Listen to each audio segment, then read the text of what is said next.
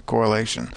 Uh, so this is the, this adjustment is based on this phenomenon that as you have very very small sample sizes, uh, you necessarily get a correlation, and it's being adjusted here. So at a sample size of 25, there's still a pretty big adjustment. And as I mentioned, once you get over 100, it, it looks pretty small.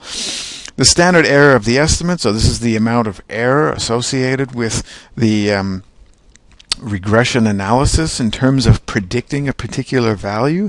And in this case, I'm almost positive, I haven't looked under the hood in this SPSS algorithm, but this standard error of the estimate is associated strictly with this model uh, and therefore would be accurate only for uh, x values of 13.56. Uh, as you you if as you try to predict what a person's earnings would be based on their education of say 11 or 10 or 8 as you deviate from the actual mean in the model this standard error of the estimate will not be accurate anymore. Anyway that's kind of advanced and technical uh, and maybe I'll do a separate video in more detail about that. But this standard error of the estimate is I'm almost positive is strictly accurate for the model and that by implication the mean of the x value, not for the other values. Here's the ANOVA table, which is basically telling us is this correlation of 0.423 statistically significant? And we got an f value of 5.00 and it's statistically significant.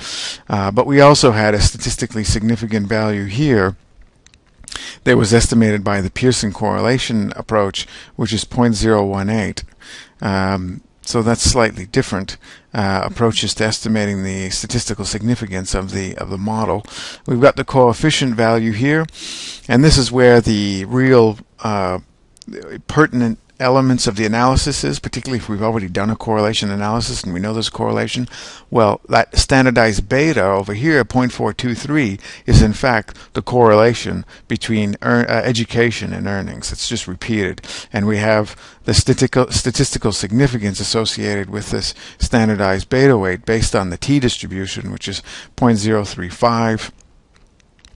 Uh, so we know the correlation is statistically significant, but we do not know yet whether what one unit increase in education, so one extra year, how much extra can we expect on average a person to earn on a weekly basis? And that value is here. This stand, unstandardized coefficient, uh, right here, B or, or, or beta, unstandardized beta, is 57.93. So if you increase your education by one year from 11 years to 12 years, you expect uh, on average a 50 almost $58 increase in earnings. This is again back in the 90s if, if I'm not mistaken.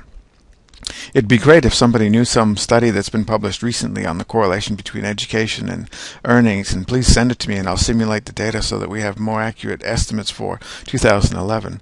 Uh, so, but in in the time period that this was based on, which I think is the late 90s, an extra 58 bucks a week doesn't sound like very much, even by the standards back in the 90s, late 90s. Now here we have the um, intercept, and SPSS for whatever reason calls it the constant, and uh, the constant or the intercept is the value of y, so the value of weekly earnings when x is 0.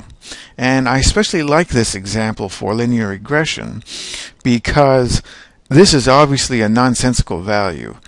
This suggests that if you have zero education, you would earn negative $240 uh, a week.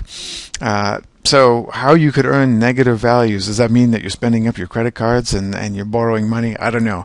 But uh, there are simply no values associated in the data set there are no values in this data set that correspond to an x value of 0. In fact, if we look at the scatter plot between education and earnings, we can see that um, earnings educate uh, now that I want to get that into the y-axis predictor variable x so if we look at the scatter plot which you should always do anyway uh, here's the actual scatter plot between education and earnings, and we can see that, in fact, there is no. So the lowest is something like 8, and the the uh, intercept value is trying to tell us, well, how much would someone earn if the